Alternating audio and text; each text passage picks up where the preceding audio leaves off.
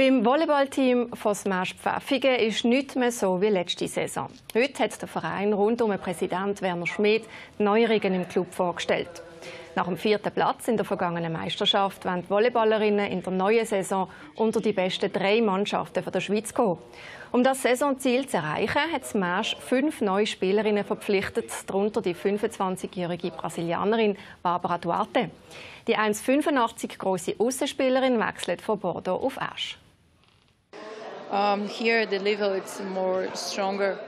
Das Level hier ist höher. Es kämpfen mehrere Teams um einen ersten Platz. Für mich ist es der richtige Schritt. Ich kann mich hier weiter verbessern und ich hoffe, dass ich auch dem Team helfen kann.